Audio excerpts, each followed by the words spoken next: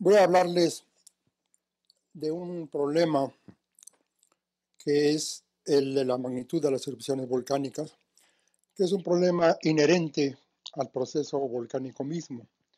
Es una, em, parece mentira que a estas alturas del siglo XXI es un problema que no está resuelto del todo, no, está resuelto de una manera satisfactoria. Y vamos a ver, vamos a ver por qué. Eh, Vamos a ver aquí un ejemplo. Esto salió en el periódico, en el diario, hace unos días, este anuncio. Dice, es una erupción que tuvo lugar en el volcán Sakurajima, en Japón. Dice, captan impresionante erupción volcánica del volcán Sakurajima. Se puede apreciar la, violencia y la gran cantidad de magma. Ese es el encabezado del, diario. Por otro lado, vemos eh, con relación a la erupción del volcán Chichón de 1982 en un libro bastante conocido de, vulcanología, el libro de, eh, de, Lecker, que se llama, dice literalmente, la erupción del Chichón fue una, erupción moderada. Fue una erupción que causó, formó este cráter de un kilómetro de diámetro, eh, emitió casi eh, un tercio o un poco más, casi medio kilómetro cúbico de magma, y esta erupción probablemente emitió algo así como la millonésima parte de esta, de esta otra. Sin embargo, para una persona esta es una erupción moderada y para otras personas esta es una gran erupción de gran violencia. Entonces vemos que ya hay una percepción muy dispersa, no solo en el, ámbito general, no solo en el ámbito del público, sino aún en la comunidad vulcanológica no hay un criterio uniforme, bien establecido, que determine la naturaleza y la dimensión de la actividad volcánica y de eso vamos a continuar hablando. Ahora, tenemos el caso de la sismología. En el caso de la sismología, bueno, pues este tipo de confusión no ocurre en el mismo grado. No hay una confusión tan marcada con respecto a la dimensión de los sismos. Por ejemplo, cuando se habla de la dimensión de los sismos o de la magnitud de los sismos, eh, todo el mundo tiene muy claro de que un sismo de magnitud 8 es mucho más grande que un sismo de magnitud 4.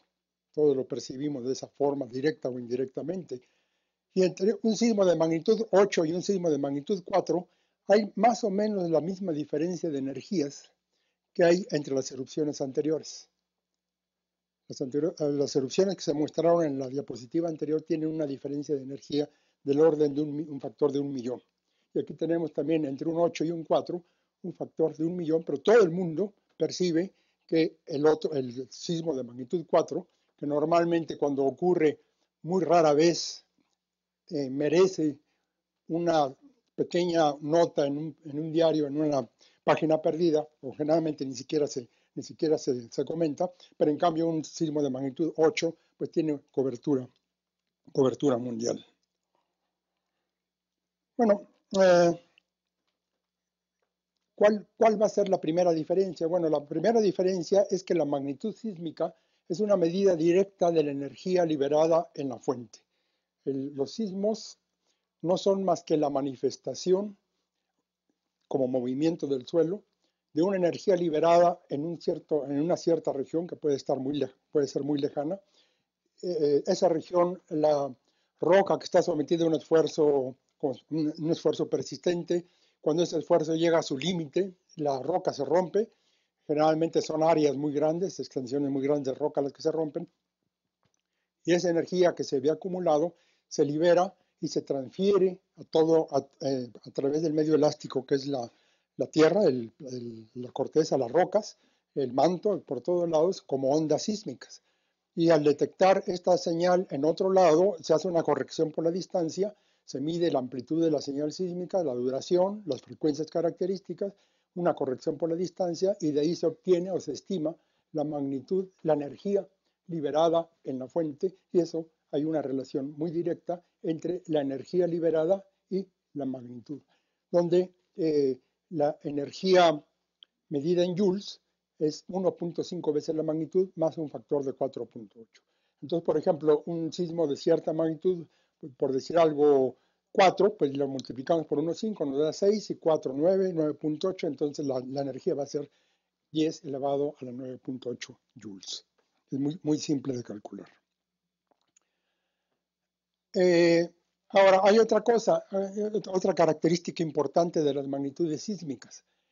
Eh, la forma como se distribuye la forma, las magnitudes de los temblores.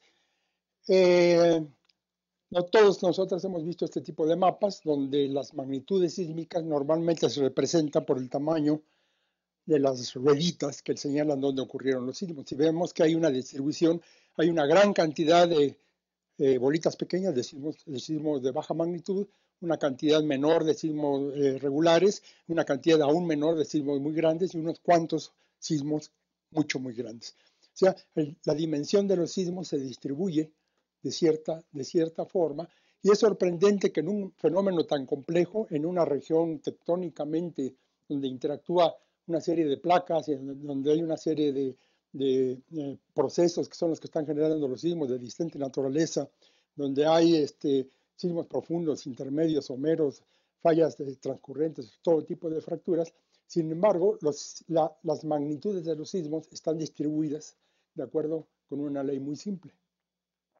Esta ley, que es la ley de Gutenberg-Richter, me dice que las magnitudes, la energía liberada por los sismos es inversamente proporcional a la ocurrencia de esos sismos, que es lo que acabo de mencionar hace un momento. Mientras más grandes los sismos, más raros son, mientras más pequeños, más frecuentes son. Y esto me lo dice esta ley de Gutenberg-Richter eh, con una expresión muy sencilla en la cual el número de sismos que exceden la magnitud m va a ser el producto de dos números, una, una que es prácticamente una constante 10 elevado a la a, multiplicado por otro que me da la distribución de las magnitudes una potencia negativa. Al, aumentar la magnitud, este número va disminuyendo y por lo tanto el número de sismos en esa magnitud también va disminuyendo. Si yo tomo el logaritmo de esto, me queda una relación lineal que me está indicando que logarítmicamente el número de sismos disminuye conforme aumenta la magnitud de los mismos. Y lo sorprendente es que en este sistema tan complejo, la ley de distribución de las magnitudes sea una ley tan simple una ley que es lineal en la escala logarítmica, que aquí la vemos en un ejemplo, es un ejemplo de, cualquier eh, región, en la cual vemos que, por ejemplo, el, el número de sismos de magnitud que exceden la magnitud 2 es 10 a la 5, el número de sismos que exceden la magnitud 3 es un poquito más de 10 a la 4, el número de sismos que exceden la magnitud 4 es del orden de 1000 y así sucesivamente, hasta que llegamos a las magnitudes muy grandes, donde vemos que el número de sismos que la acceden en un determinado tiempo, en una determinada escala de tiempo, pues quizás será uno o dos, a lo, mucho. Ahora, ¿qué es lo interesante que es de esta línea? Bueno, lo interesante de esta línea es que tiene una pendiente determinada. Por ser una línea recta, se le puede asignar una, una pendiente y esta pendiente me caracteriza la proporción de sismos grandes a sismos pequeños. Si, la, eh, la, pendiente es suave, me va a decir que hay una proporción eh, eh, relativamente, una proporción distinta de sismos grandes a sismos pequeños a que si la pendiente es más marcada. Y eso es una característica de la región. Entonces, con solo ver la pendiente de esta curva, estoy viendo cómo los sismos redistribuyen el esfuerzo en la región para generar nuevos sismos. Y ahí está la esencia física de esta ley. Me dice cómo si, si, la región prefiere liberar la energía por sismos pequeños o la eh, región prefiere, prefiere, entre comillas, liberar la energía por sismos grandes. Entonces, aquí hay un ejemplo de una aplicación, esta es la zona del Himalaya, y vemos que en una zona del Himalaya hay dos regiones cercanas con valores de la pendiente, este es el famoso parámetro B, que son muy, muy distintos. ¿Podemos apagar estas, por favor? Y entonces la, característica de esto es que esa pendiente me va a definir un parámetro eh, mucho, muy importante de la, de la naturaleza del proceso sísmico. Y esto está, pues en general está bien entendido, o sea, se desarrolló desde la mitad del siglo XX, comprendió desde entonces y ha sido un, parámetro fundamental para determinar el riesgo sísmico en distintas regiones, ya que en, un lugar donde la pendiente tiene la característica que me indique que la probabilidad de sismos grandes es más, relativamente más alta que la de sismos pequeños, pues será una zona de mayor riesgo sísmico. Tenemos la posibilidad de sismos más grandes. Y otra, otro detalle interesante es que esto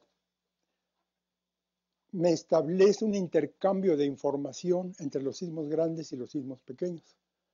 La información de los sismos grandes o del número de sismos grandes que podemos esperar está contenida en el número de sismos pequeños. Para calcular si podemos determinar esta línea, eh, conociendo el número de sismos pequeños, podemos inferir cuál es la esperanza o la, expectativa de los, sismos, de los sismos grandes.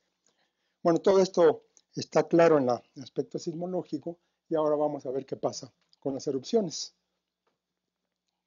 En el caso de las erupciones, el problema arranca con que no tenemos una escala única de erupciones.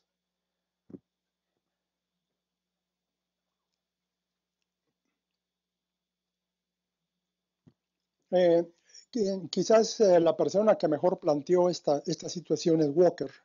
En el año 80 escribió un artículo eh, fundamental sobre la, una de las erupciones más grandes de la, del Holoceno, la erupción del volcán Taupo, y se dio cuenta de que eh, al analizar una erupción tan grande era muy difícil caracterizarla por un solo parámetro, como en el caso de la magnitud sísmica.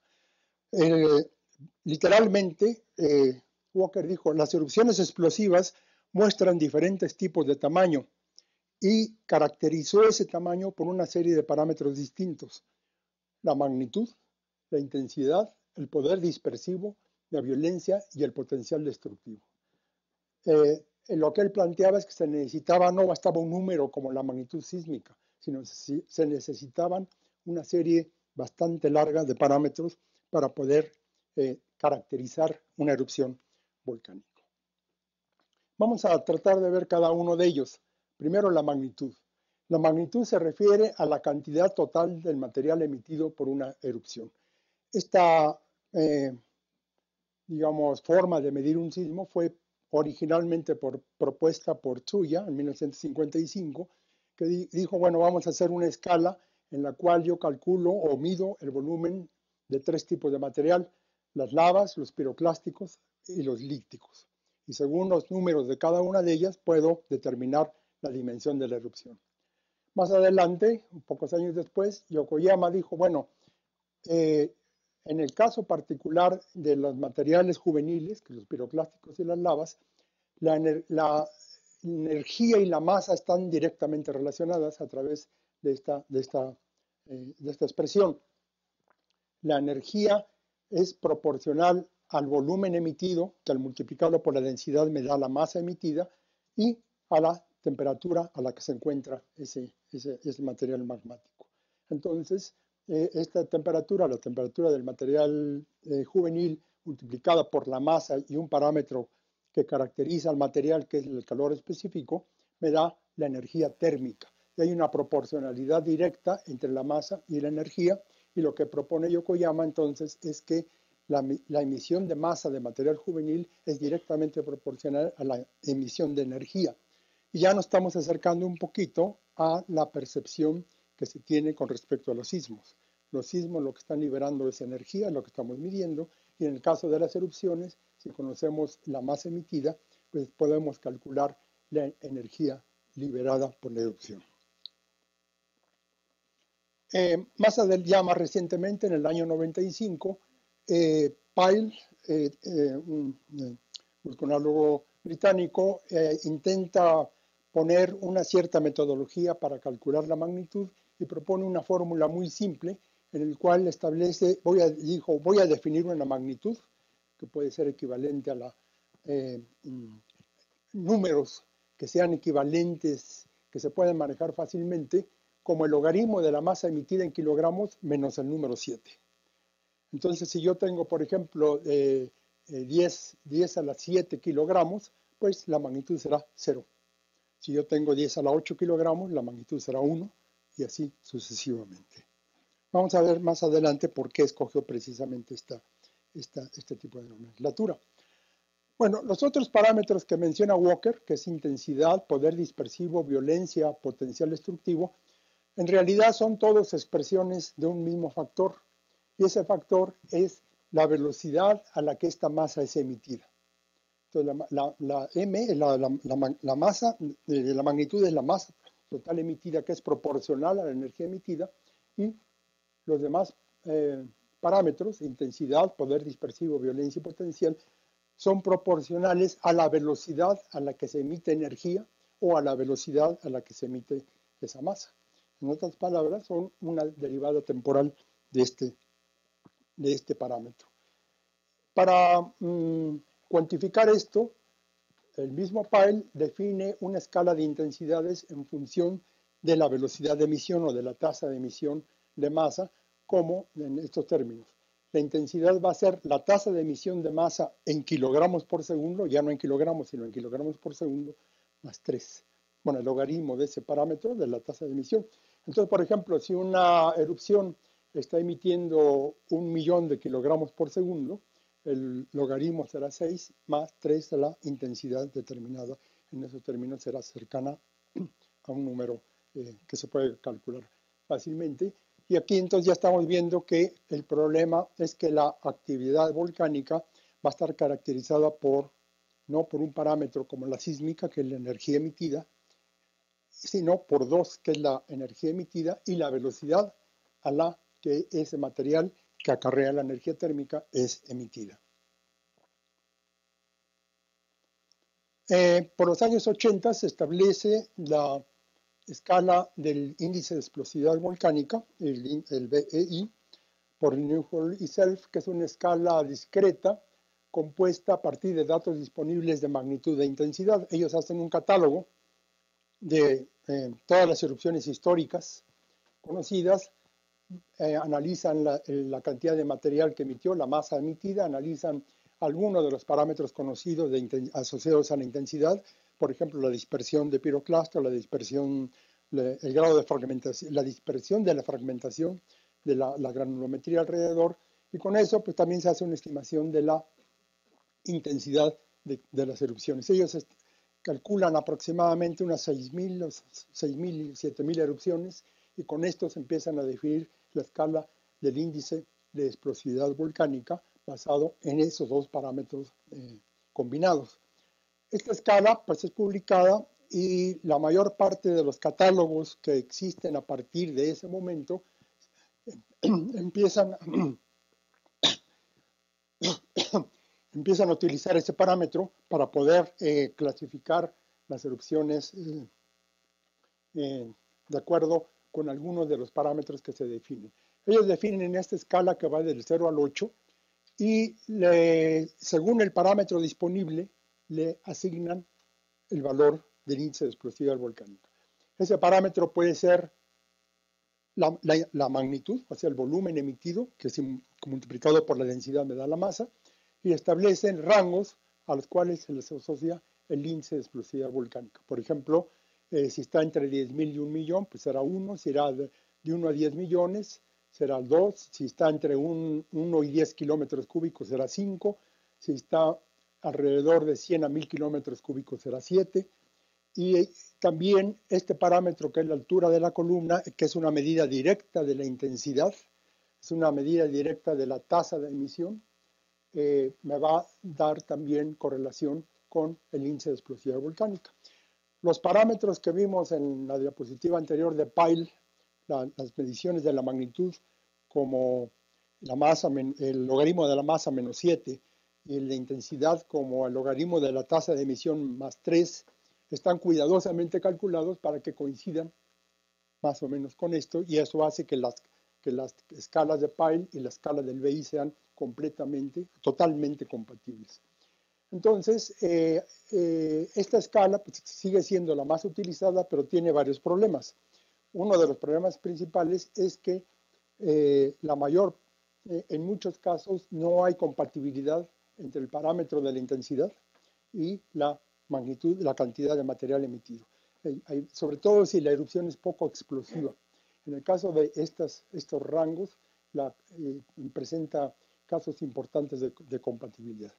Y el otra, el otra limitación grave que tiene esta, esta escala es que se satura en 8.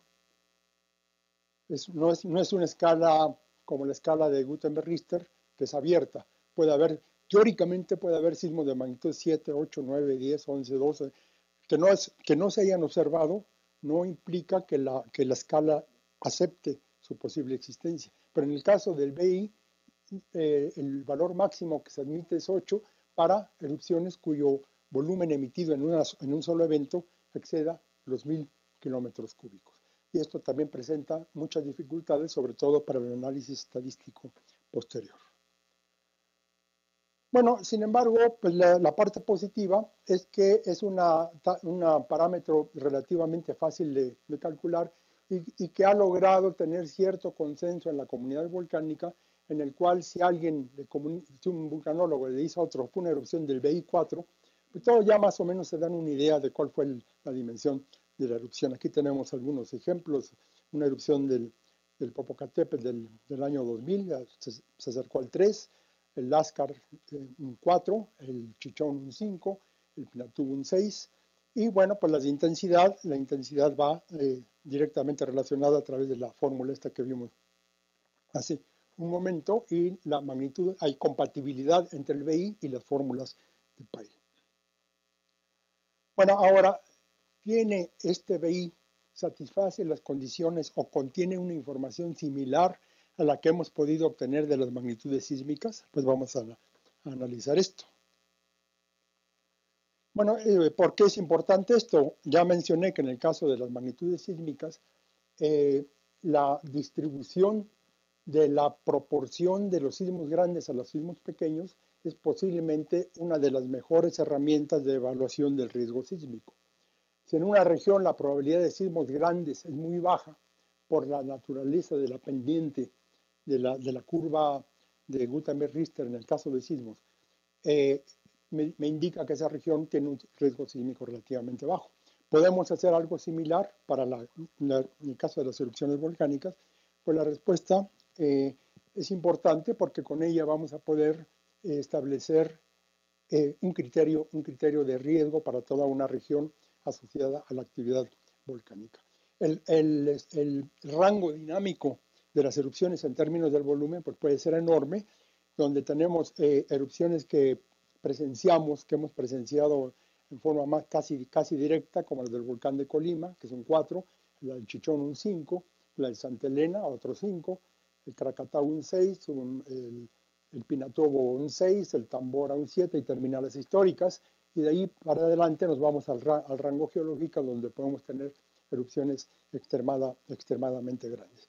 Y la idea es ver si con la magnitud, podemos, magnitud volcánica podemos hacer un análisis, un análisis similar. Bueno, eh, en particular es importante recalcar que aunque no las hayamos presenciado, eh, es, es, eh, fundamental contar con información de la posibilidad de erupciones en este rango, en este rango de tamaño, ya que pueden afectar no solo la región donde ocurran, sino pueden llegar a producir cambios globales, sobre todo cambios climáticos, dado que las erupciones, aún en este rango pequeño, han llegado a producir eh, cambios en el clima por escalas de tiempo de dos a tres años y erupciones más grandes en este rango han llegado a producir eh, cambios climáticos de 3 a 5 grados, que son muy grandes, sobre periodos de, varias de, varios años o quizás hasta décadas, y no sabemos realmente cuál puede ser el efecto eh, global de erupciones ya en este rango, en este rango de tamaños. Bueno, volvamos entonces al tema de la energía y la, y la, y la magnitud de las erupciones. Por ejemplo, una erupción que se considera grande en la escala del BI, eh, en el rango 4 o 5, no es, no es extremadamente grande, es grande a secas, libera una cantidad de energía del orden de 10 a la 17 a 10 a la 18 Joule, que es comparable a la de un sismo de magnitud mayor a 8, 8 y algo. Eh, ¿Cómo es posible que no hayamos sido capaces de detectar esa acumulación de la energía en el interior de la Tierra, tanto para un sismo como para una erupción, y ser capaces de predecir que esa energía se iba a liberar de una forma abrupta, como un sismo grande de magnitud mayor a 8 o como una erupción de en el rango 4 o 5, que es como la del, chichón o más grande. Entonces, e, ese es quizás uno de los retos fundamentales de la vulcanología actual. ¿Por qué no podemos detectar esa acumulación? Eh, la, la, energía no se forma en el momento de la erupción. La energía se va acumulando poco a poco. Lo mismo ocurre en los sismos. Y esa energía se libera de una manera abrupta. Es un proceso de acumulación de energía y una liberación abrupta. ¿Por qué no hemos sido capaces de detectar determinísticamente ese incremento en la energía acumulada que nos va a llevar a la liberación abrupta y súbita y con ello ser capaces de tener una predicción determinista de un, de un sismo grande o de una erupción, de una erupción mayor. Bueno, en el caso de la vulcanología se han tenido ya ciertas, ciertos éxitos.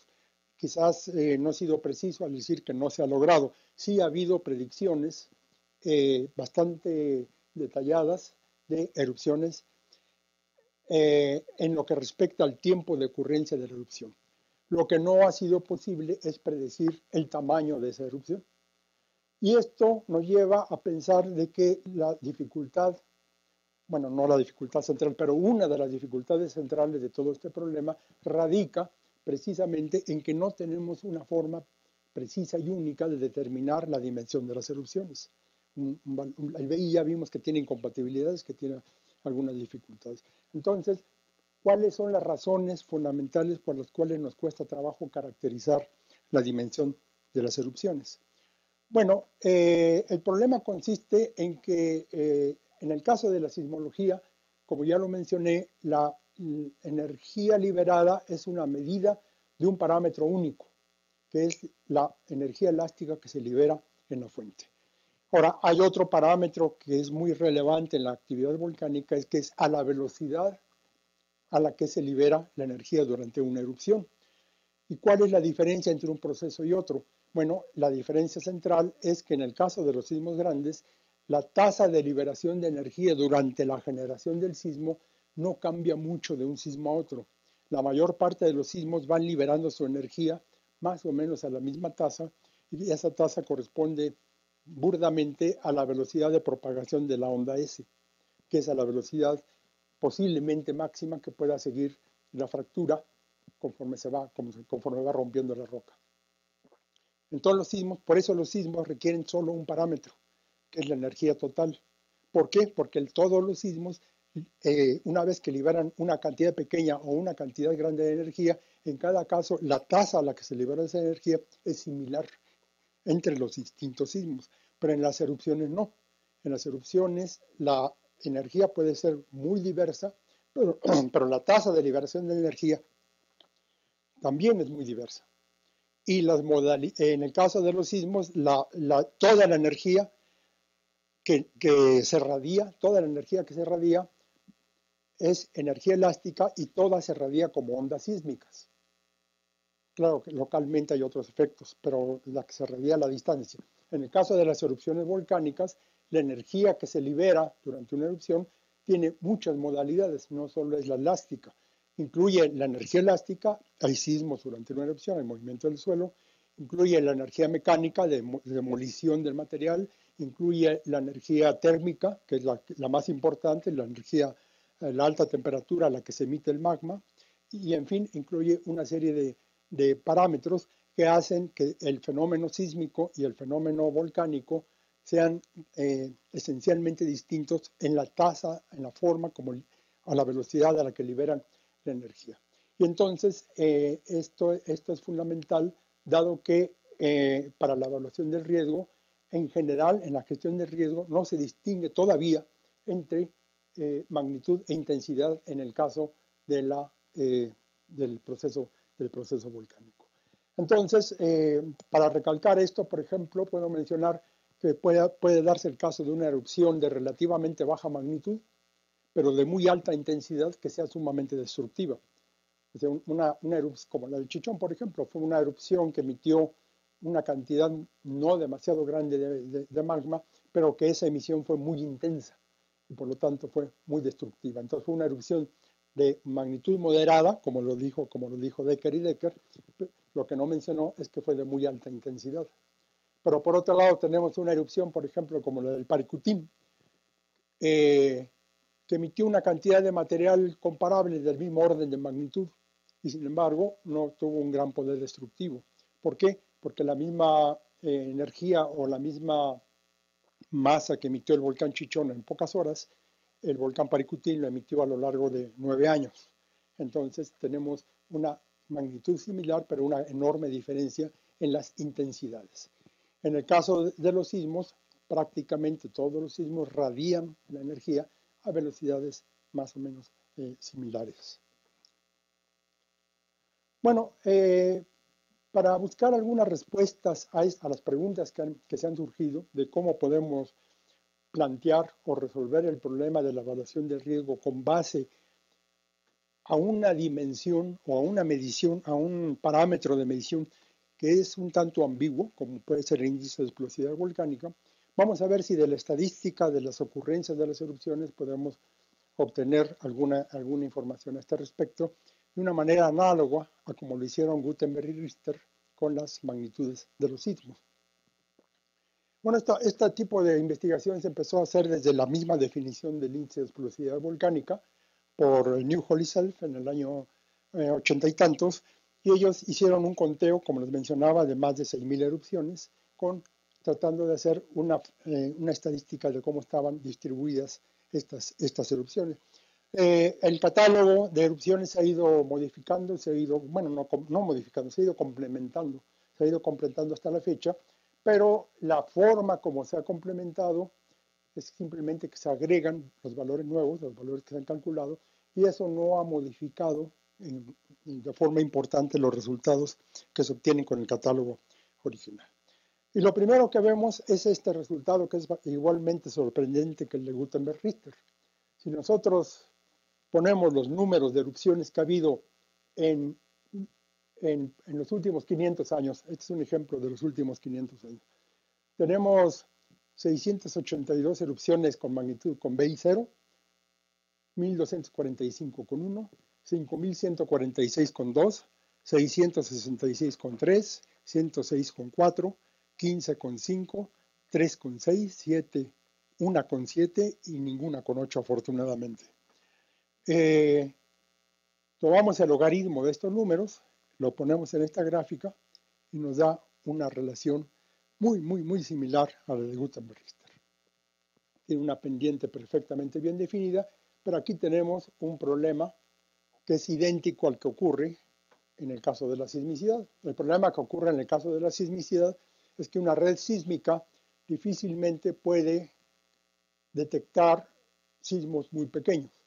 Entonces, en las redes sísmicas, eh, todas las redes sísmicas o todos los catálogos sísmicos tienen un cierto grado de incompletez, sobre todo en las magnitudes muy bajas, que, que no son detectables. En el caso de las erupciones volcánicas, pues ocurre algo similar. Eh, globalmente, muchas erupciones pequeñas simple y sencillamente no son reportadas. O el tipo de reporte que se hace no es lo suficientemente fuerte para que entre en el catálogo. Entonces siempre va a haber un defecto de las erupciones pequeñas. En cambio, a partir de la dimensión 2 y sobre todo a partir de la dimensión 3, del BI3, el catálogo es bastante completo y cuando el catálogo es completo, vemos que se genera una eh, relación eh, muy similar entre la tasa de emisión y la magnitud. Este es el logaritmo del número de eh, em, el, número de el número de erupciones con magnitud m o BI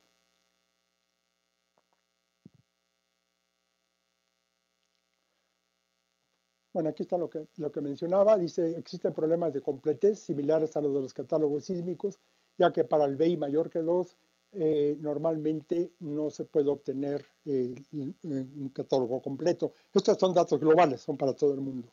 Pero eh, para el mayor que 2, la relación del catálogo es muy buena, la completez del catálogo es muy buena, y haciendo una regresión muy simple, se obtienen que la pendiente es del orden de menos 0.7 más o menos, y donde la, está, la L expresa el número de erupciones por año, y en el grupo de 3 a 6 el ajuste es eh, extremadamente alto, 99.9%.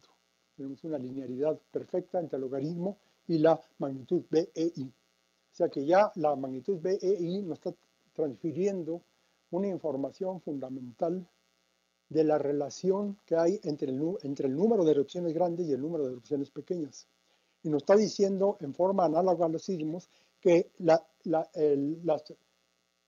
tasa de ocurrencia de las erupciones grandes está con la, información de la tasa de ocurrencia de, las erupciones grandes está contenida en la tasa de erupción, en la tasa de ocurrencia de las erupciones pequeñas. Entonces no tenemos que esperar a que ocurra una erupción grande. Podemos empezar a inferir la probabilidad de ocurrencia de las erupciones grandes a partir de probabilidad de ocurrencia de las tasas de las erupciones de menor, de menor magnitud. Ahora vamos a ver la relación con la energía. Eh, desde el año 57 eh, se han estado calculando en un número limitado de erupciones todos los parámetros que se mencionaron anteriormente. Y en particular hay alrededor de 21 erupciones en el mundo en los cuales se ha determinado con bastante precisión la energía sísmica, la energía térmica, la energía acústica eh, y todos los, todos los parámetros de energía que se han, que se han podido obtener. Y, con, estas, eh, con esta información se hizo esta correlación, se, se, ve cómo se relaciona la energía total emitida, medida en joules, con el BEI. Y se logra un ajuste pues bastante, no tan bueno como en el, como la, el mencionado pasado, pero bastante satisfactorio. Y vemos que sí hay una relación directa entre el índice de explosividad volcánica y la energía total emitida. Esto implica que de alguna manera va a haber una correlación entre magnitud e intensidad, lo cual tiene, tiene cierto sentido. Si bien son parámetros completamente diferentes, la magnitud sísmica y la intensidad sísmica van a estar relacionados, porque si bien podemos tener erupciones de baja magnitud pero de alta intensidad, es muy poco probable que tengamos la situación contraria. Es muy poco probable que tengamos una, una er, erupción de, de, eh, eh, gran, con los parámetros opuestos tiene, que estar relacionado. Para tener una gran magnitud debemos tener necesariamente una gran intensidad, por lo menos en algún momento determinado. Bueno, si combinamos las ecuaciones, notaron ustedes que una, una de las ecuaciones que puse anteriormente tenía una pendiente de 0.7 y la otra de menos 0.7, más o menos. Ahora, si nosotros combinamos estas dos ecuaciones, al ser las pendientes eh, similares, se cancelan aproximadamente y obtenemos que la energía globalmente, considerando todos los volcanes del mundo, la energía volcánica se está liberando más o menos a la misma tasa en todas las magnitudes. ¿Qué quiere decir esto? Que vamos a tomar un periodo, digamos, por decir algo, 200 años. Entonces, en 200 años va a haber muchos, muchas erupciones pequeñas de BI2, va a haber un número menor de erupciones que liberan esta energía va a haber un número menor de erupciones BI3 que liberan esta cantidad de energía. Va a haber aún un, número menor de, erupciones que liberan más o menos la misma energía. Y así sucesivamente. la escala de energías y el tipo de actividad volcánica en el mundo está actuando de tal manera que las, las magnitudes, el, número total de erupciones que ocurre en cada clase de magnitud liberan aproximadamente la misma cantidad de energía globalmente. Eso no, vale para volcanes individuales, pero globalmente sí. Entonces, más o menos esta energía es alrededor de 10 a la 16 joules por año. Entonces, todos los volcanes del mundo están liberando algunos en, magnitud 3 o BI 3, 4, 5, 6, y solo hay una erupción magnitud 7 en los últimos 500 años que libera una sola prácticamente esa cantidad, esa misma cantidad de energía. Bueno, pues eh, eh, estamos viendo que entonces la información que podemos obtener de esta escala de dimensión volcánica es comparable a la que nos da la magnitud de, de Gutenberg-Richter y podemos empezar a jugar con ella, ya no para la, escala global, sino para volcanes, sino para volcanes individuales. Entonces, para volcanes individuales podemos presuponer que estas leyes de escalamiento, estas leyes de escalamiento son válidas para cada volcán, pero no conocemos los parámetros. Los parámetros, los coeficientes que tiene cada volcán individual no necesariamente son los globales. Tendríamos que calcular individualmente para cada, para cada uno de los volcanes que estamos considerando. Y en particular, pues eh, esto, si analizamos esto o intentamos analizar esto con mayor profundidad, veríamos que esto representa una em, propiedad ergódica de un sistema eh, complejo, un sistema de muy alta complejidad. ¿Qué quiero decir con esto? Una propiedad ergódica de un sistema de alta complejidad significa que es un sistema en el cual la eh, la, cantidad de procesos involucrados en el, sistema, como puede ser toda la actividad volcánica mundial. No contamos con los medios para conocerla a fondo. No, contamos con el número de datos suficiente para poder expresar cómo se está comportando cada uno de los volcanes del mundo y poder calcular efectivamente estos parámetros.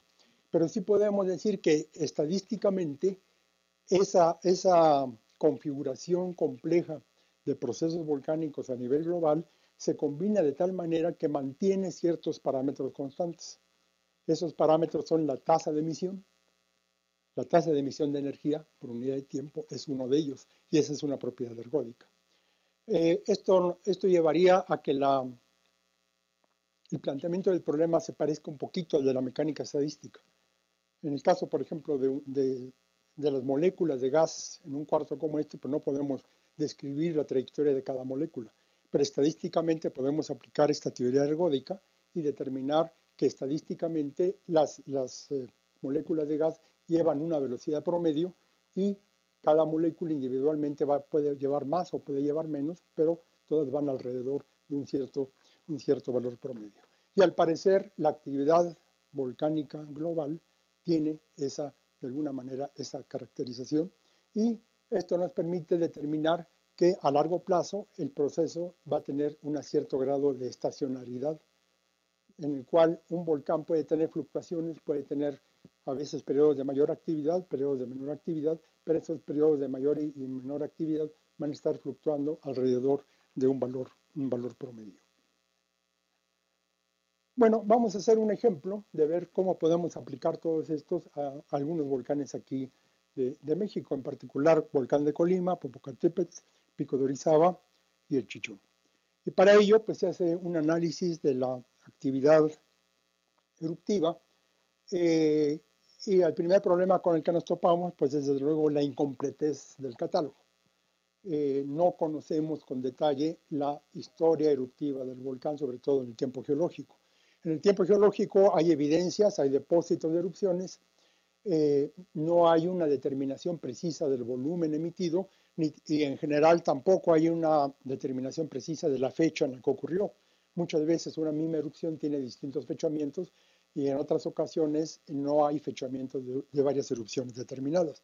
Entonces, estadísticamente se eh, eh, llevó a cabo un análisis de cómo optimizar la historia eruptiva de un volcán para que sea autoconsistente, para que el volcán, si en un momento dado hay una incertidumbre en la fecha o en la dimensión de una erupción que ocurrió en el pasado, se pueda estimar cuál fue la dimensión o la fecha más probable con base al resto de la historia del volcán, que es un poquito una expresión de esta, de esta propiedad ergódica.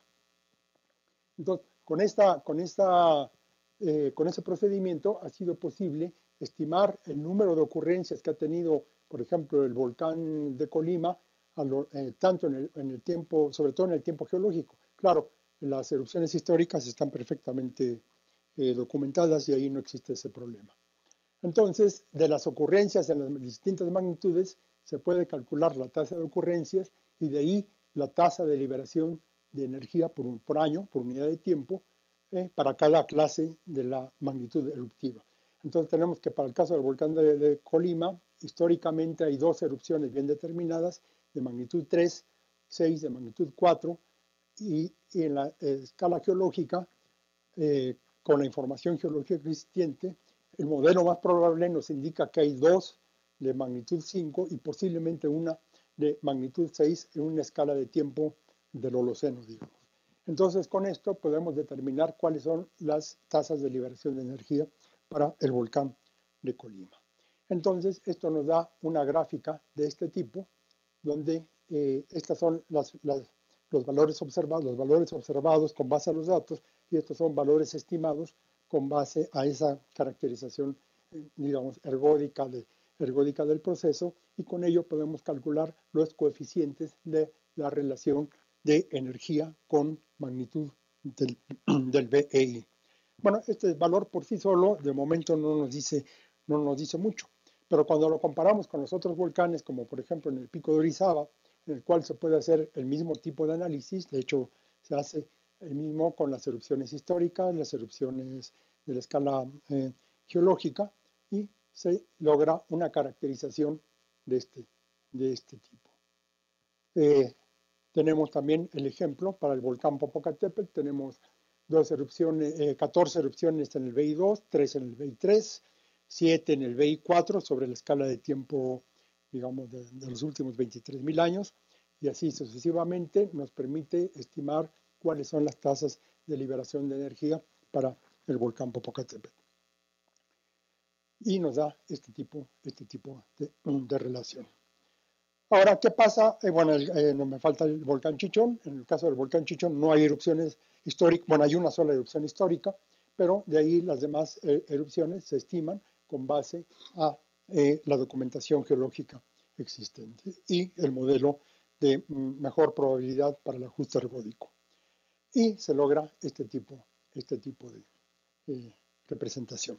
¿Qué pasa cuando los combinamos todos? Pues cuando los combinamos todos nos empieza a dar una idea clara de la importancia o de la intensidad o del riesgo o del peligro relativo de cada uno de estos volcanes con respecto a los demás. Y es cuando empieza a cobrar significación.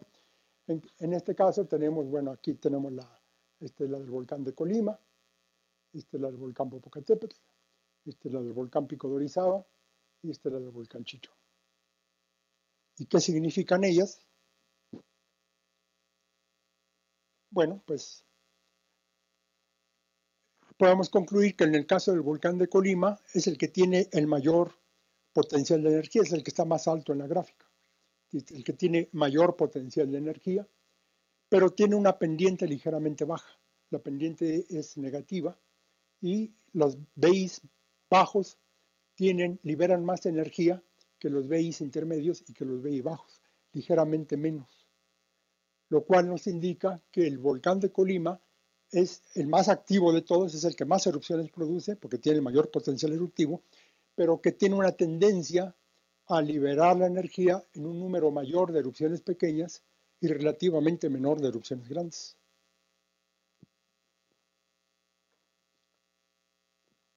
El volcán que sigue en este análisis es el Popocatépetl. El Popocatépetl de aquí tiene un potencial de energía considerablemente menor que el volcán de Colima se hace menos erupciones. Sin embargo, y su bueno, no sin embargo, pero y su tendencia de, liberación de energía es similar.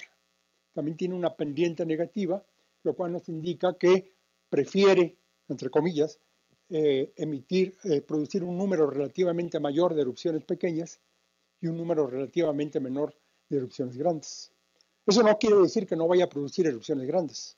Puede producir erupciones grandes, pero en un momento dado, en una circunstancia en la cual no sabemos cuál, cómo será la próxima actividad, lo que podemos decir es que probablemente es más probable que sea pequeña a que sea grande, pero no mucho más, es ligeramente más probable dada por la pendiente de esta, de esta curva. Luego tenemos el volcán Pico de Orizaba, en el cual tiene un potencial eruptivo aún más bajo, sin embargo, tiene una pendiente ligeramente positiva. Eso ya nos está indicando que es un volcán que no hace muchas erupciones, pero que cuando las hace va a tener una preferencia por hacer erupciones más grandes sobre las erupciones pequeñas. Entonces es un volcán relativamente más peligroso, aunque esté en un potencial de energía bajo. Y finalmente tenemos el volcán Chichón, que tiene un potencial de energía, pues, digamos, eh, relativamente bajo comparado con el Colima, pero no tanto, y que tiene una marcadísima tendencia a preferir las erupciones grandes sobre las erupciones pequeñas. Entonces, eso lo hace sin duda un, volcán sumamente, sumamente peligroso, porque no es un volcán que va a estar produciendo erupciones pequeñas, no es un volcán en el cual las comunidades que estén alrededor van a tener la percepción de que es un volcán activo, y cuando haga erupción, lo más probable es que haga una erupción grande a muy grande. Entonces, como ven, esta categorización o esta reinterpretación de la naturaleza de la dimensión de las erupciones, o sea, del BI, nos permite obtener una cantidad de información adicional sobre el peligro que representan los volcanes de una manera eh, más sustentada. Eh, claro, esto permite que en un momento dado las medidas preventivas del riesgo pues, se puedan modular, se puedan ajustar a estas, a estas condiciones. Claramente en el caso del chichón pues tengo que estar preparado para erupciones más grandes que van a, a tener un mayor alcance, que van a tener un mayor daño, van a tener una mayor tasa de liberación de energía, comparadas como por ejemplo con el volcán Popocatépetl o el volcán de Colima, en el cual puedo esperar que en la región muy cercana esté afectada frecuentemente por erupciones relativamente pequeñas y las medidas que se tomen para las distancias mayores pues sean específicas para una probabilidad de ocurrencia eh, relativamente más baja comparada, por ejemplo, con el volcán El Chicho. Y bueno, pues de momento eso es lo que yo les quería eh, presentar y desde luego si cualquier pregunta, con mucho gusto intentaré eh, responderla. Muchas gracias.